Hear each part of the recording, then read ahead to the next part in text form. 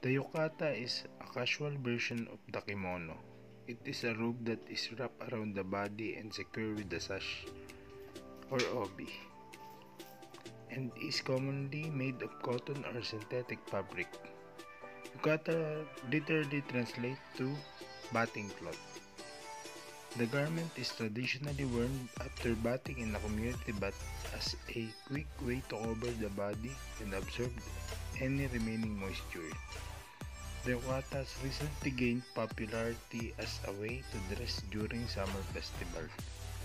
Increasingly fashionable design have surfaced to a degree that is it is sometimes difficult for, for the untrained eye to discern between a yukata and a kimono. Men's yukata are normally darker or more modest in color, but young women's yukata are usually bright and colorful with floral motifs. Yukata for matured women tend to be less flashy.